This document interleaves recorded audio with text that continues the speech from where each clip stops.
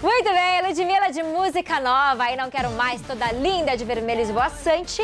E ela que adora postar, né, várias coisas assim no Instagram, então aquele momento de xeretar a vida alheia, tá?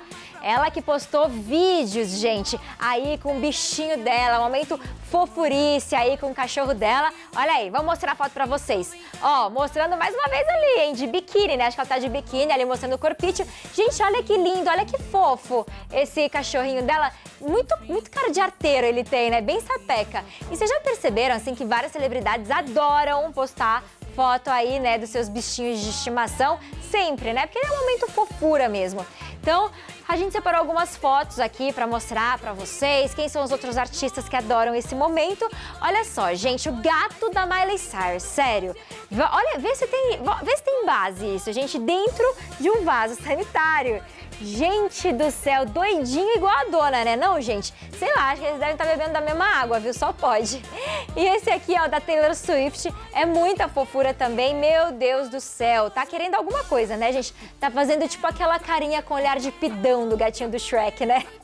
É, já o amigão da Taylor, o ruivinho do Ed Sheeran, postou essa foto aí, ó, levantando o gato dele. Que fofo também, né? Parece até aquela cena emblemática do Rei Leão, né? Quando vão lá e levantam o Simba, lembram? Muito lindo. E a nossa querida Demi Lovato não mostrou nenhum bicho de estimação dela, não.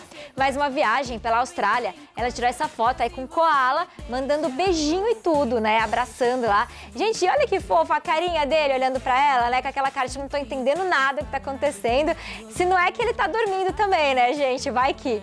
Agora sim, para finalizar, temos a rainha do pop, Madonna, que também entrou nessa onda aí abraçada com o cachorrinho dela, olhando com essa cara de apaixonada. E é muita paixão, muito amor que a gente tem por esses bichinhos, né, gente? É muita fofura para um programa só. Dá até saudade do meu fubá, tá? Morrendo de saudade daquele meu peludinho fofinho. E falando nele, olha aí, a produção pegou essa foto muito maravilhosa do fubá, do fubanga. Ele tinha acabado de acordar, tava todo descabelado, com cara de louco também, né, gente? Todo malandro. Ele tem cara de malandro esse, esse cachorro, né? Cara todo de bagunçado, assim, de louco mesmo. muito bom.